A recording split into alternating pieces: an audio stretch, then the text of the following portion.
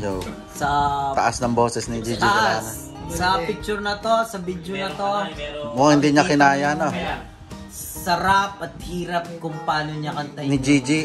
Sobrang galing ni Gigi, no? Sobra, sobrang galing. Yung sarap at hirap. Ramdam ko sa Dito. sa reaction niya dito sa kantang to. Mukhang hindi na kinaya, no? Stack up eh. Yan guys, pag di kayo nagbabayad ng internet, ganyan ang lalabas nyo. Gigi De Luna na lang. ha? Gano, sarap, no? Hi, Gigi. ah. ano lang yung prank lang. Hindi pa siya nagbabayad na eh.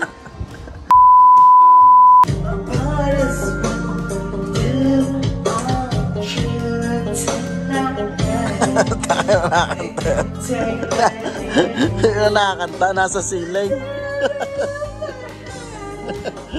Mataas yata ang kinakanta mo ha.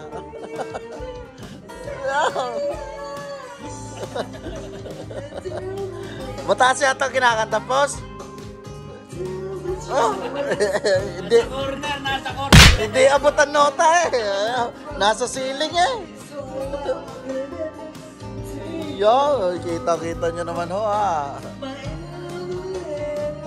May moltor pa yan bukas.